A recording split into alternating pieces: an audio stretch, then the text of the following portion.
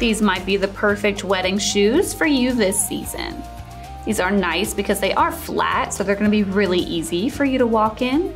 And they do have this beautiful upper that is silky satin and nylon mesh, but also has these beautiful embellishments all over.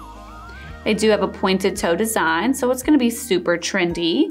And they do have a really awesome adjustable closure at the ankle strap.